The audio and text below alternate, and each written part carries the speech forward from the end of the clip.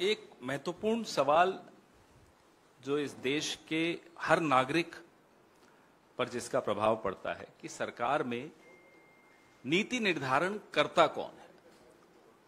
Who drives policy in the Modi government अगर कोई आप में से इन्वेस्टिगेशन करे, हर विभाग में, हर मंत्रालय में कितने कंसल्टेंट्स हैं? और वो कंसल्टेंट्स किस एजेंसी के हैं, किसके आर्थिक इंटरेस्ट का प्रतिनिधित्व करते हैं, किसके लिए लॉबिंग कर रहे हैं, ये बड़ी रोचक जानकारी तो होगी ही, लेकिन गंभीर भी होगी और चिंताजनक भी होगी। अभी हाल ही में फोर्टिफाइड राइस चावल को उसके अंदर एक प्रक्रिया करके आयरन डाल देते हैं। तो जिनको आयरन डेफिशिएंसी होती है, उनको वो फोर्टिफाइड राइस खिलाएँगे। ऐसा प्रधानमंत्री ने लाल किले पर खड़े होकर घोषणा कर दी 15 अगस्त 2021 को कि साहब, अब जो है, सरकार मैंडेटरी कर देगी। जितनी सरकारी स्कीम्स में अन्न बढ़ता है, चावल बढ़ता है, वो फोर्टिफाइड राइस होगा। और शुरू हो गया। दूसरे ही दिन प्रधानमंत्री जी देश के राजा बोले तो सबने शुरू कर दिया। जवान का नुकसान करते रहो, किसान का नुकसान करते रहो, विज्ञान का भी नुकसान देखो कैसे करते हैं, वैज्ञानिकों की नहीं सुनी जाती। क्या रिसर्च हुई है?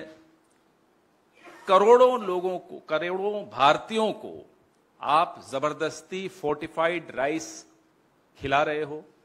बिना ये जाने कि वो फोर्टिफाइड राइस उनके स्वास्थ्य के लिए हानिकारक तो नहीं है।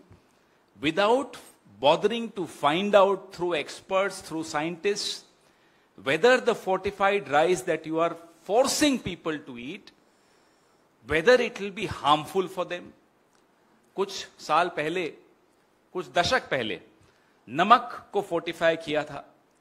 आयोडीन नमक।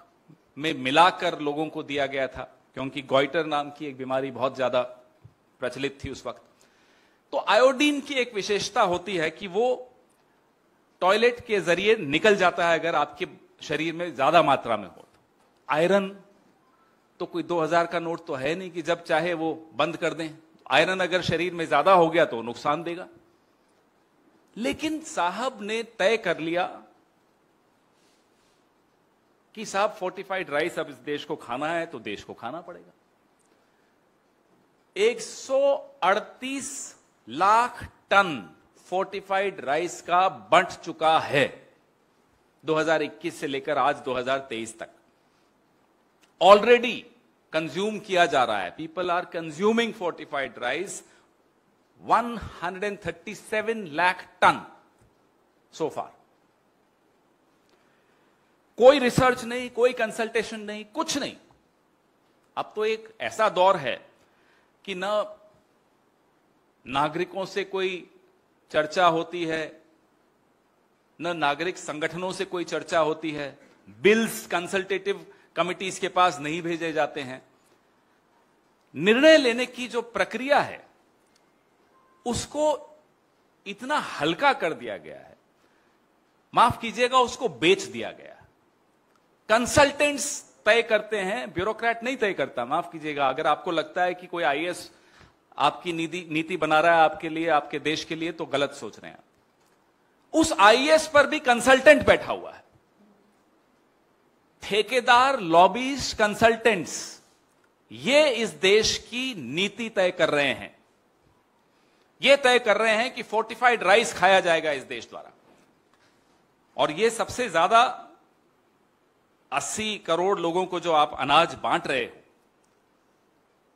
अलग अलग योजनाओं के तहत, मिड डे मील में भी यही राइस इस्तेमाल होता है जहाँ जहाँ इस्तेमाल होता है।